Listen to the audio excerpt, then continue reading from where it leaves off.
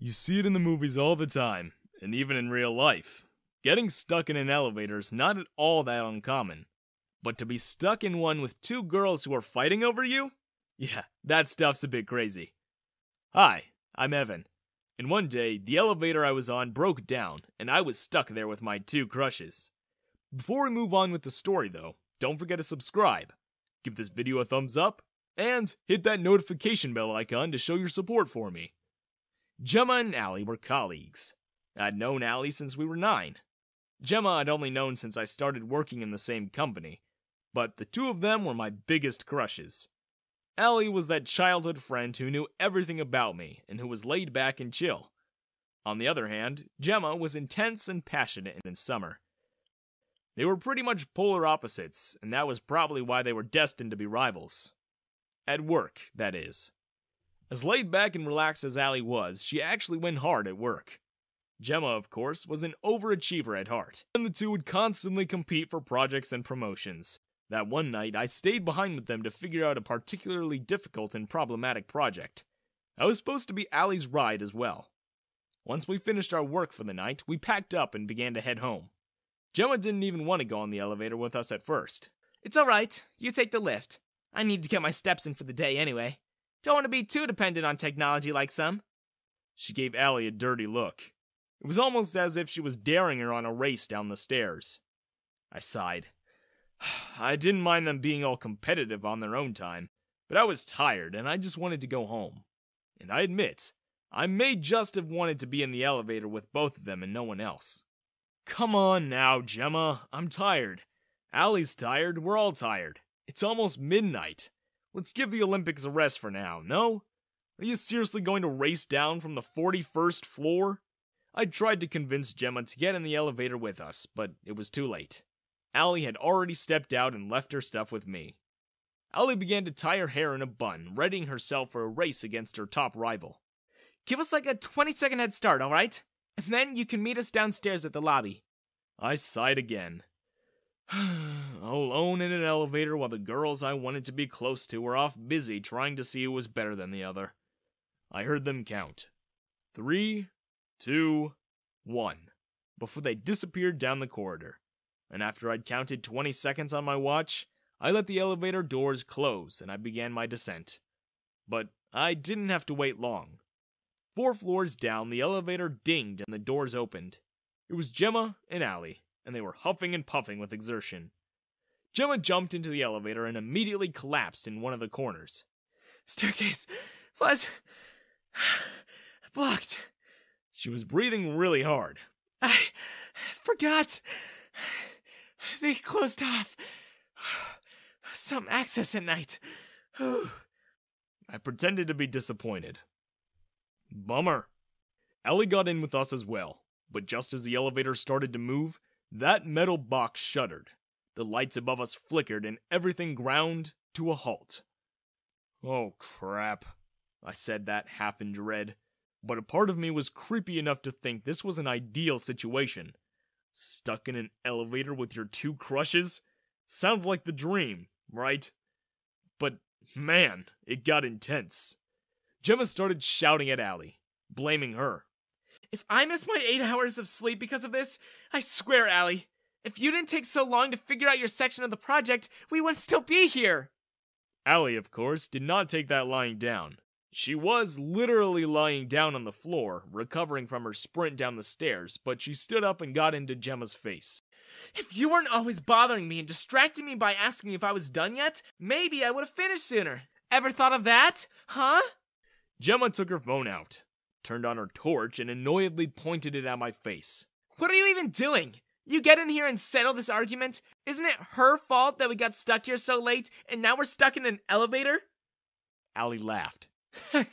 As if Evan's gonna take your side. I'm his childhood friend. Dream on, loser. Who's the loser? You are. Well, can a loser do this? Gemma began to clutch at the elevator's doors. She screamed as the effort it took her made her muscles bulge out. And as if we were watching anime, her muscles strained on her sleeves so much that her clothes tore and pieces of fabric flew through the air.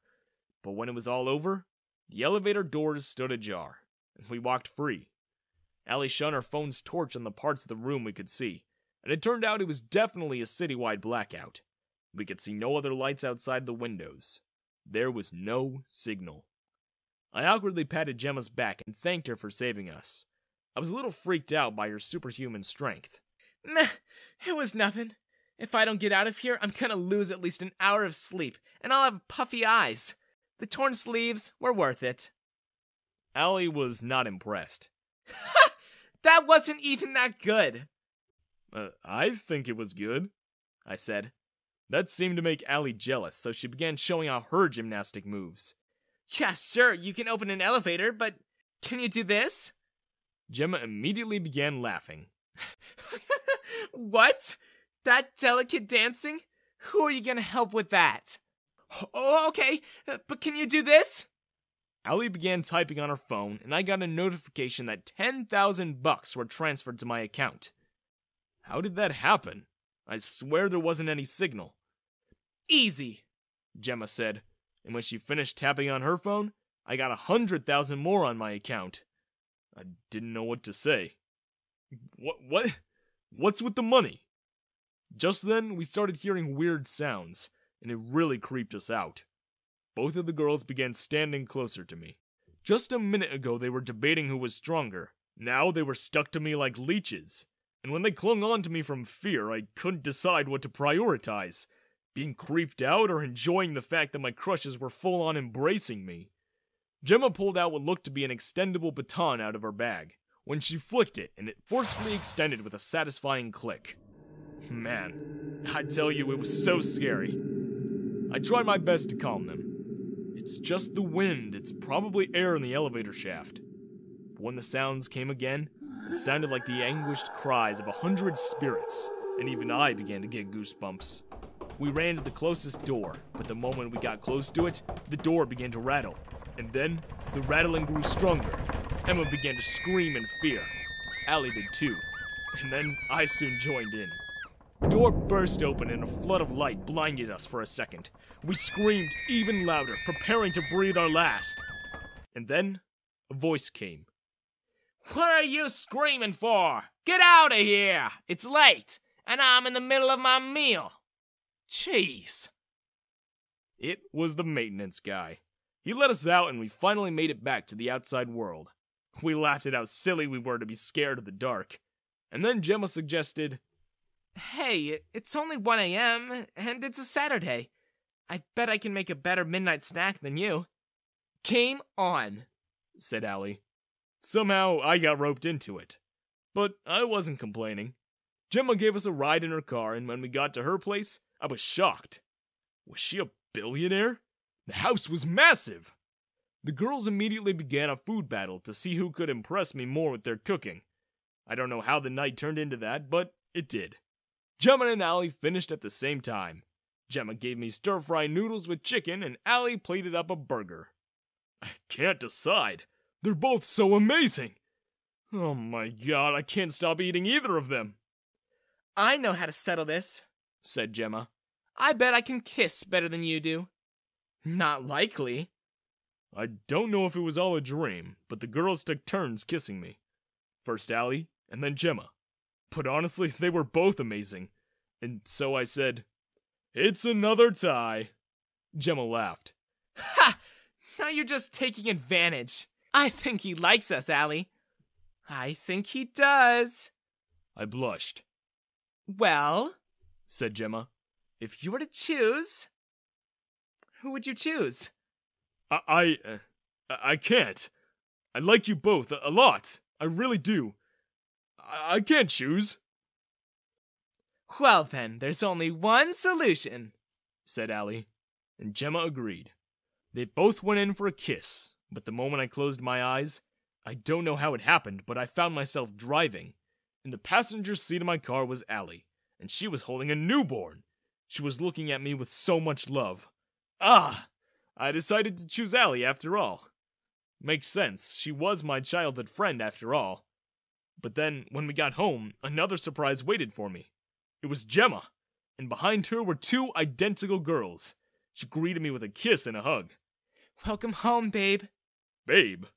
So, those twins are are my kids too? What have I done?